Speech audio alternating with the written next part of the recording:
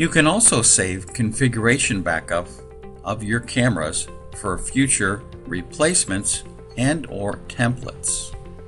Simply select all of your cameras, select configuration and configuration backup. Choose the desired file location and select start.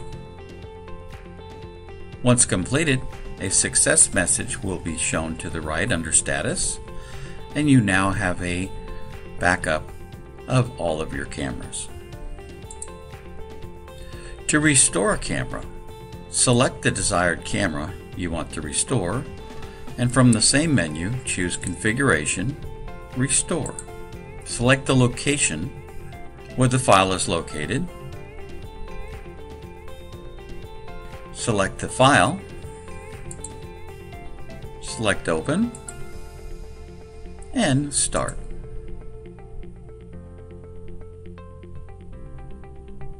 Your camera is now restored.